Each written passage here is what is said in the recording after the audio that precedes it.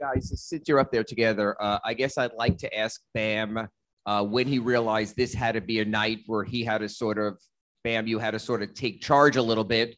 And PJ, for you to answer then after that, just what's it like to see a guy like Bam seize a moment when that kind of moment is needed? Bam. Uh, well, in the previous game, as everybody know, they beat us like we stole something. Um, I mean that that that should wake anybody up. Um, you know, getting beat like that at home. Um, you know, from from my point of view, that's you know that that that says it all.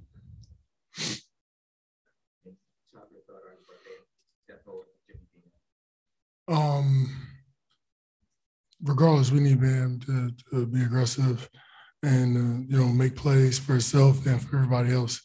Um, the way our team's built, uh, he triggers the most probably out of everybody. Um, his versatility just opens everything up for everybody.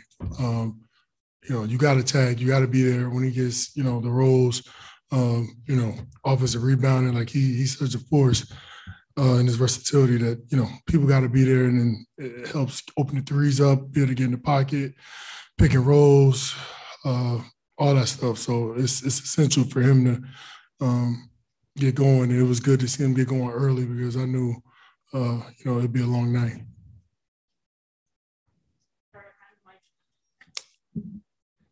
And was anything changed in the offense tonight in terms of play calls that helped you get going, or did you just take this upon yourself? Nah, uh, same old play calls. Uh, you know, just different mentality. Like I said, they they beat us like we stole something in game two.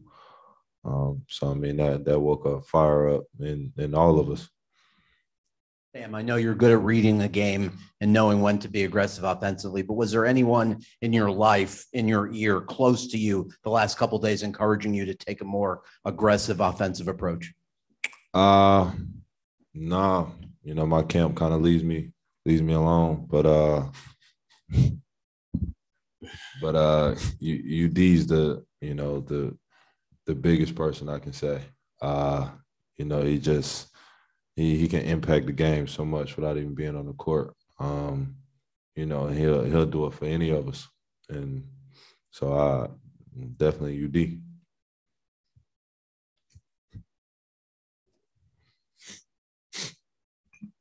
PJ, coach uh, joked that he can't not play you, and that if you even see him talking to the trainers about you, like you shoot him a glare.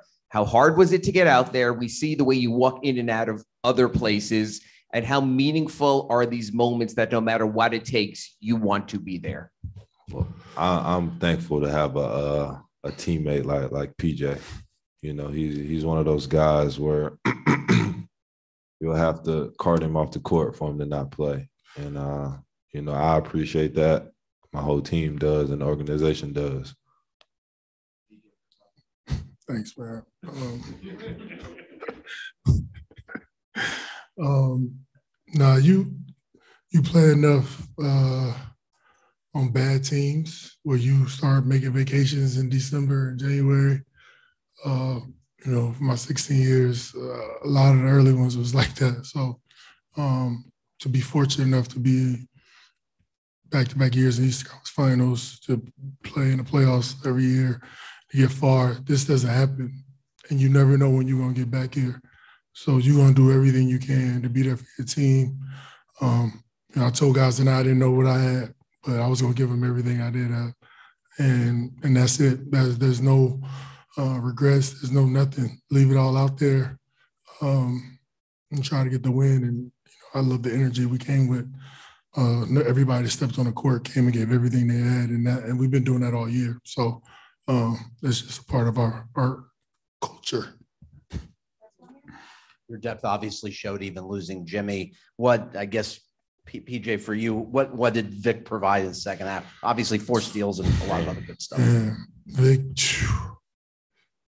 Uh, it's usually his offense. Everybody, you know, he comes in, be a spark, uh, but his lateral slides and quickness and his hands, it was unbelievable. I told him tonight that was some of the best lateral foot speed I've seen anybody have. Because uh, Jaylen Brown is, he gets going, especially right he's tough to get back in front of, and for Vic to square him up uh, was unreal. You know, he gave us a spark, and we talked about a half, knowing that he was about to start the half and play, and to not play at all, and then step in and do what he did in the second half.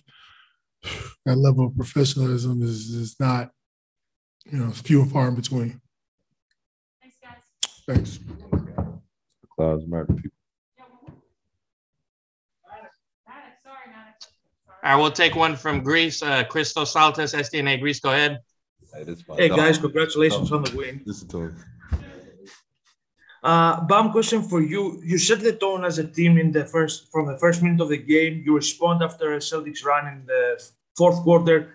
That win and the way that you won tonight, what? How big was that mentally wise for you for the rest of the series?